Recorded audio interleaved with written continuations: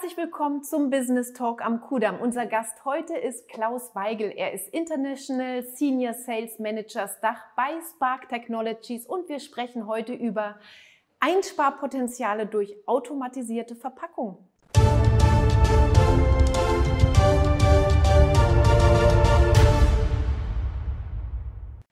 Weigel, herzlich willkommen heute beim Business Talk am Kudamm. Schön, dass Sie bei uns sind. Ganz herzlichen Dank, Frau Schulz, für die Einladung.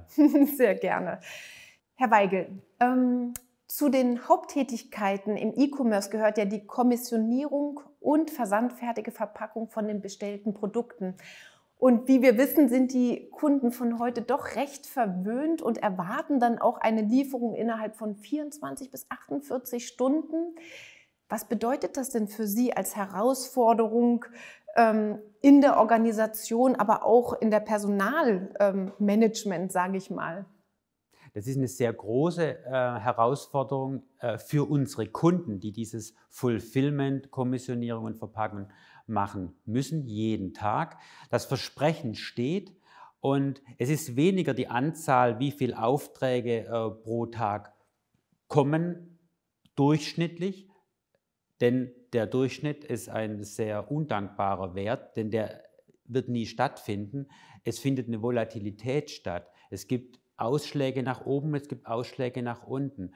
Und insbesondere, wenn ich Ausschläge nach oben habe und viele Aufträge, dann muss ich sie trotzdem in einer gewissen Zeit abarbeiten, damit ich eben diese Zeitfenster, diese Versprechen einhalten kann. So, deswegen weniger die schiere Zahl an Aufträgen, darauf könnte man sich theoretisch einstellen. Es ist das Schwanken jeden Tag, aber jeden Tag die gleiche Leistung abliefern. Und da kann eben Automation eine Antwort darauf geben, weil wir mit Automation sehr leicht skalieren können. Wir können mit wenigen Mitarbeitern sehr hohe Schwankungen nach oben abfedern. Wir können aber auch die Automation sehr schnell herunterfahren und uns nach unten anpassen. Hm. Und jetzt ist es ja so, dass es nicht nur diese tagesaktuellen Schwankungen gibt, sondern auch die saisonalen wenn wir jetzt mal an Weihnachten denken ja. oder an den Black Friday. Ähm, wie gehen denn die E-Commerce-Unternehmen mit diesen Auftragsspitzen um? Traditionell haben wir gelernt oder haben die Unternehmen gelernt, dass man in diesen Zeiten mit Aushilfskräften zeitlich begrenzt eben diese Peaks überlebt und äh, eben die Versprechen einhalten kann. Das geht nicht mehr so einfach. Wir sehen eine Veränderung am Arbeitsmarkt. Es gibt weniger Fachkräfte, es gibt weniger Kräfte auch in der Logistik, die zur Verfügung stehen. Es gibt mehr Firmen, mehr E-Commerce, mehr Distanzhandelsfirmen, die natürlich äh, zur gleichen Zeit diese Peaks aufweisen und eben auch dann nachfragen nach diesen saisonalen Kräften. Jetzt streiten sich also mehr äh, mehr Unternehmen um weniger Mitarbeiter, sodass dieses Modell der Zeitarbeiter für Peaks immer weniger Wirkung zeigt.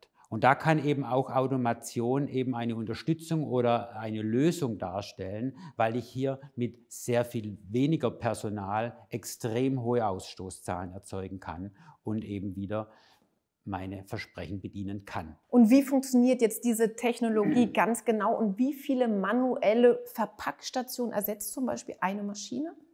Kann man das so sagen? Ja, also wir haben zwei Maschinentypen und äh, eine Maschine, ein Maschinentyp mit einer Geschwindigkeit von 500 Paketen pro Stunde kann durchaus zehn manuelle Packplätze ersetzen. Wir haben einen zweiten Typ mit 1100 Paketen pro Stunde Fertigungsleistung. da ersetzen wir gar 20 äh, manuelle Packplätze.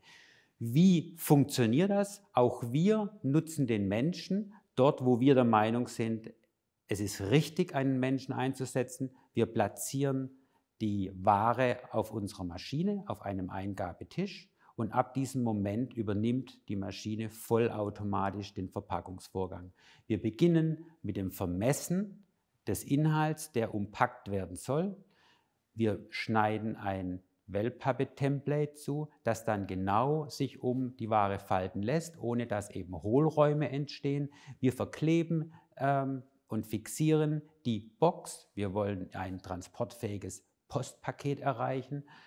Wir etikettieren, belabeln es mit dem Versandlabel und auf Wunsch auch noch mit einer individuellen Botschaft, die wir über eine Inkjet-Technologie aufsprühen können.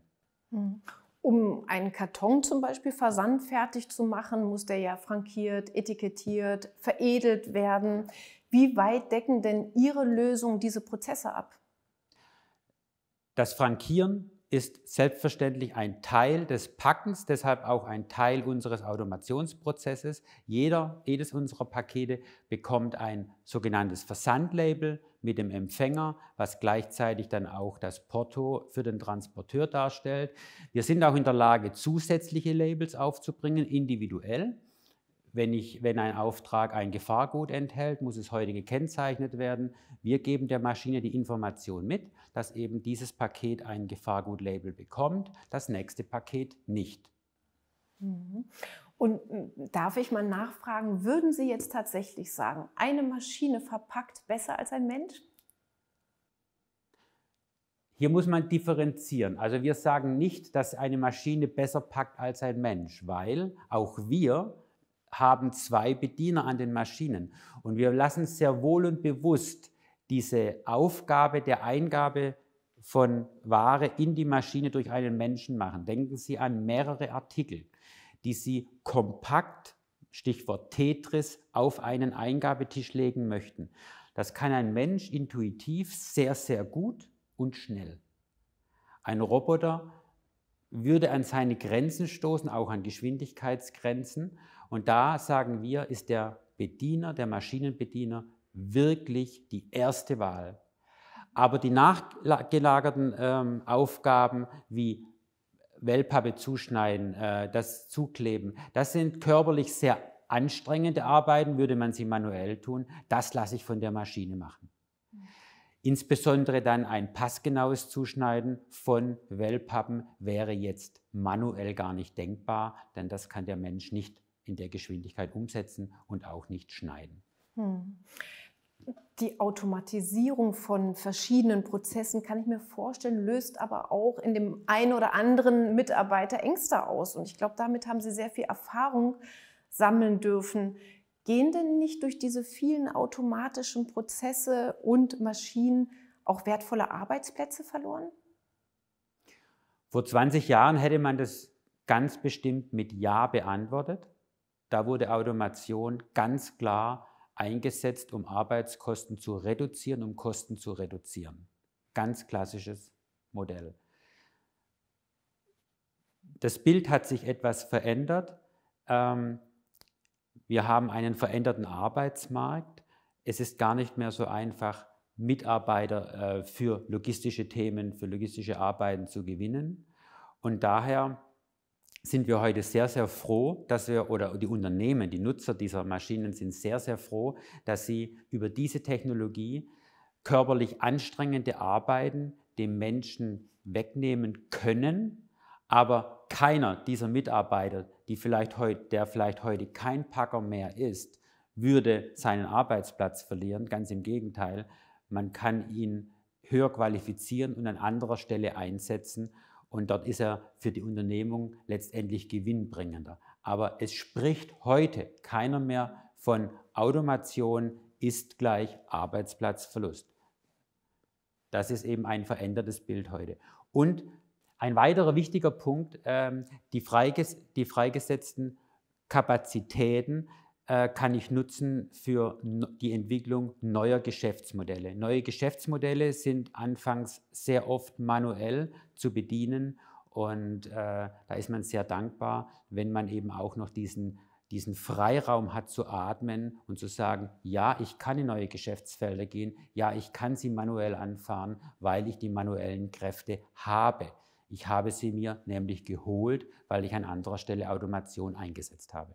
Also ein Gewinn für den Mensch und für das ja. Unternehmen, wenn man es mal auf den Punkt bringt.